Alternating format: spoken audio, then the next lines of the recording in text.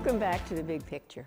Well, if you're not into the holiday spirit yet, our own Robby Takac from the Goo Goo Dolls will kick it into high gear.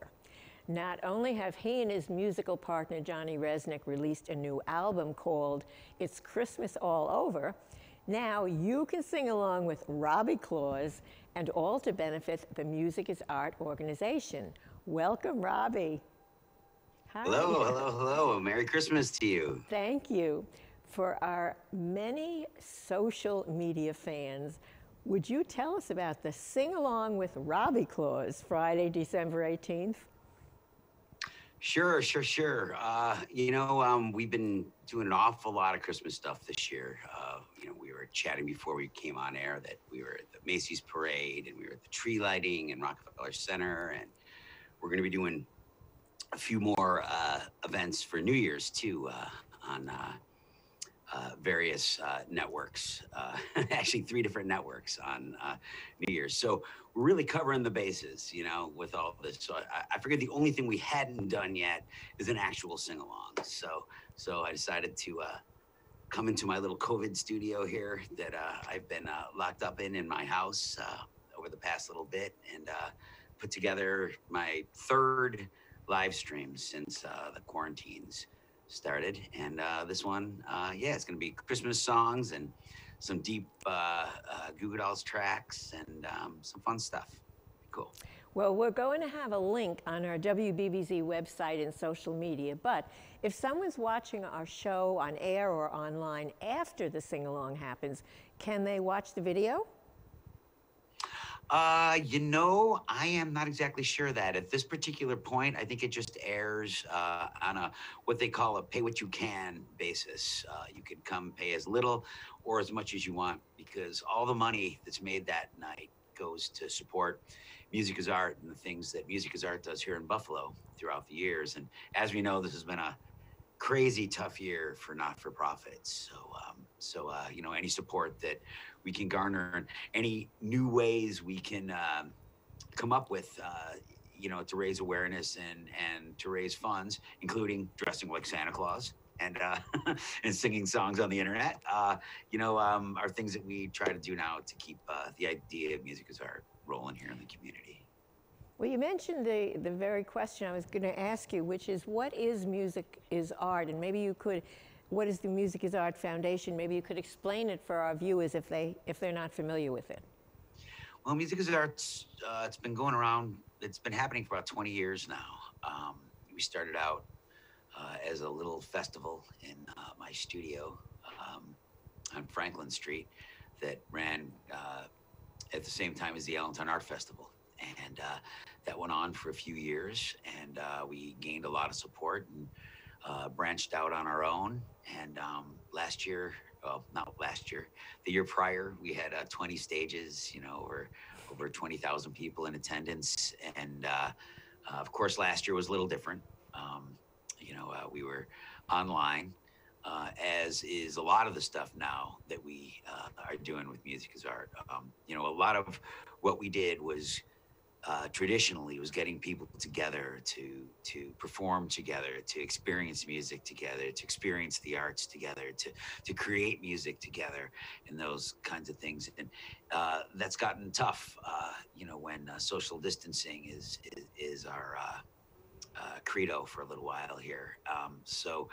We've decided to move ourselves online, and like I said, last year's festival was online, and uh, we have a couple of other uh, uh, programs that uh, we're running online at the moment. So, um, yeah, we're just slugging it out here, trying to make it through until, uh, and it looks like we're on our way uh, until we get back to some sort of state of normal again and can get in room and right. start celebrating together again. Yeah. Well, everyone here at WBBZ is proud to help support Music is Art all year long. We were recently a part of your virtual video team. How did the September virtual event go? Was it successful? Yeah, it was great. I mean, it was our first venture into doing something like that. So uh, I certainly learned an awful lot, you know, uh, as I did the first year we did a festival 20 years ago. Um, you know, I never, uh, we never expected this, uh, you know, to come down this way. So, you know, luckily due to, uh, you know, John and, and, and all the amazing folks at BBZ, you know, and, uh, so many other people here in the community. You know, we were able to pull something together, and uh, in what seems now to be a, a, a, sort of a window of opportunity, um, you know, got safely got the musical community together with no audiences, and still were able to to um, showcase a lot of what, what of what goes on here in Buffalo. So it was I I think it was a successful year for us.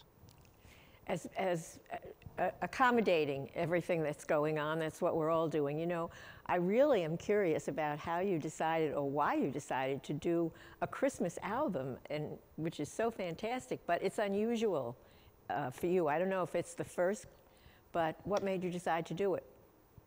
I don't think it's we we didn't set out to do a Christmas album. Um, we got asked to do a song, and John thought of a song he might want to do, and we thought, wow, that might be something kind of fun to do, and so we were gonna record a couple of songs and uh, make sort of a deluxe edition of uh, our, the uh, release that we had just put out earlier in the year for Christmas time, and um, John got in the studio and started working and sort of got the bug. He he loves Christmas, man, just loves it. And uh, so we ended up rolling and uh, uh, making some uh, making some pretty interesting music. I think you know much different than what people are used to hearing from us. Right. It's a mix of new songs and standards, right? Kind of. Yeah. Yeah. Okay. Yeah. We want to remind everyone you can find out more on your website googooDolls.com. Now, we saw you on the Macy's Day Parade show and at the lighting at Rockefeller Center. And the first thing I want to say is how upset I was that they, they said you were from New York, period, and not from Buffalo. Did you, did you catch that? I was like, yeah, no, yeah. Buffalo, because people are going to think Yeah. New York City. But what was it like? Because uh, with all the restrictions, particularly the Macy's Day Parade, it was so different. Uh, I've watched my whole life, as I told you. I, I went there in person when I was a child, and it was so different the, that they did it, you know, with all the restrictions. What was it like for you? Well, this is the third time we we've done the Macy's parade. So the first two times there were uh, you know a few million more people there than there were this last time. Uh, they just sort of rolled us up in front of Macy's and and uh, we shot the song. So it was very much so like a, a TV show. So the pageantry really wasn't there, uh, you know, uh, as it was, and just the spectacle and you know looking up and seeing people, you know, 50 stories above your head, looking down at you, waving, and you know, I mean, it's just so exciting. But uh, you know, just being asked to be involved. Uh, um, although they did call us classic rockers for maybe the first time in my life. Yeah, right, I heard so yeah, yeah, yeah, yeah, yeah. I was I, I uh, lunged at Al Roker. at my TV, I'm like, I'm like, I'm, I'm coming to get you, Al.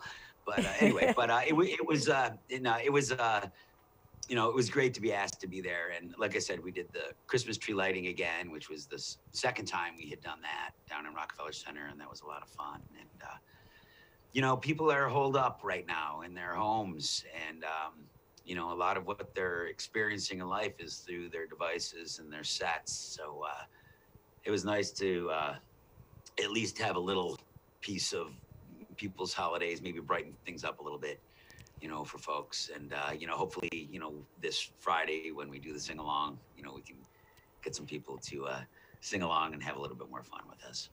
Well, we here in Buffalo, I don't know, I'll speak for myself, but everybody, we're so excited for your national attention that you're getting. And as I said, even though they don't, they don't say Buffalo, they said New York, but we know it's Buffalo in our hearts now. Things have been different for you, I guess, now that you're married for many years and you have a beautiful daughter, and Johnny's married with children too. So uh, has life changed, especially in this past year? Yeah, I get up when I used to go to bed. Quite honestly, uh, you know, with a with an eight year old in the house, um, you know, uh, there was a lot of uh, homeschooling going on, you know, during the quarantine, that was that was uh, an interesting phase of my life. And I had never, in the past 25 years, spent a summer home. If we're not touring here in the U.S., we're touring, you know, abroad. So I got to see how hard it was to grow a pumpkin and and uh, Yeah. and uh, you know uh, see my grass get long and uh, you know short again and you know take care of the yard and uh, just spend some quality time with my you know my family even though You know, it was just our little nuclear family here in our house. You know, it was a, a silver lining, you know, to a, you know, weird situation for a guy who travels for a living. So. I was thinking Yeah. about that, and we were going to ask you what it's like without touring, because not just you, but all of the bands or all of the groups that can't be touring. It it must be culture shock, right? It must be really hard for you. Yeah, it's tough. I mean, now it's getting long, is what the problem is. Like a lot of guys kind of, you know, you got to think about the ripple effect that this has had. You know, like from, you know, the uh, the stage techs to the ticket takers to the, you know, folks who own the restaurants outside the venues. You know, I mean, it just goes on and on and on. Um, you know, it's sad, but you know, we're not the only industry that's facing this right now. So you know, we'll get through it just like everybody else will. That's sure. the best. That's the best attitude. The last big Yeah. local show we saw you on before the pandemic was right here, our very own Variety Kids telethon that we produce right here. You really give so much back to the community. So, do you realize what a big difference you make, in, especially here in Buffalo, especially in Western New York?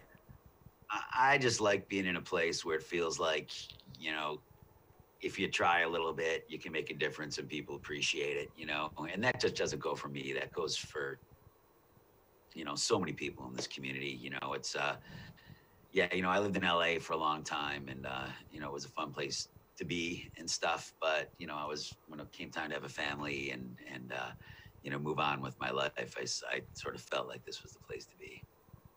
Well, we know a secret about you. At least John told me the secret, and it's that you Oh. like Pez candy dispensers. so, is that on your Christmas wish list? uh, yeah, it is. I uh, yeah, I, I you know, it's funny. Since my daughter was born, I, I I I used to be like an avid collector, like to the point where it was like a sickness, you know. But uh, I've, I've I've sort of re- uh, removed myself from that sort of thing, and uh, I collect guitars and stuff a lot more now. Quite honestly, that's a, that's a better one for your Christmas list. but I What do, about? but I do love what Pez. about- I love Pez. okay. What about 2021? Uh, can you think that far ahead? What would it be like for you and the and the and the group? Well, we have a tour starting in July um, that we're that we're praying is is going to happen because uh, just for so many reasons, people need live music, people need to sing, you know, people need to be out, and uh, so I'm hoping that it happens safely soon, and uh, we'll be out there in July with a full-on tour of the U.S. You know, we can make up those 70 dates that we canceled this summer, hopefully. Yeah. So you can think that far ahead. I keep thinking ahead. Yes, well, you know, uh, that's all we can do is, is plan and hope. I'm sure everybody feels the same way. What is your Christmas wish for all of our viewers? Uh, I hope the vaccine gets here quick, and I hope everybody gets a shot, and we can go out and start kissing each other on the lips again. yeah, well, we hope so too. I hope so too. So, Robby, Yeah. Robby, we wish you and your family and the Goo Goo Dolls a happy and healthy holiday season. Thank you so much for joining us today. Too. On behalf of holidays to you. myself, my family, and everyone involved with the big picture, we wish you happy holidays and a safe and happy new year.